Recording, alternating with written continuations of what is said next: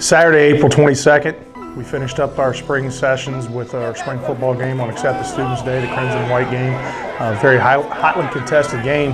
Uh, ended up being a 60-59 finish with the offense coming on, on top by one point. Uh, actually, on the last play of the spring game, Javon Whitfield had a pick and had the opportunity to return it for six points, which could have been the difference between offense and defense, but ended up being offense made the tackle and uh, ended up being 60-59. Was very impressed with our defensive football play in the game. We had 18 tackles for loss, uh, three sacks in the game. Offensively, we, we were able to score some points and do a pretty good job of ball security up until the very last series in which we had one turnover in the game.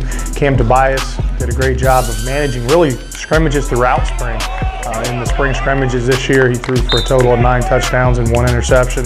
Uh, was also 69% completion rate, so we're very happy with the progress we made in spring football. Um, looking to build upon that spring with a phenomenal summer and head into summer head into our summer camp in August with the opportunity of continuing to build a championship program.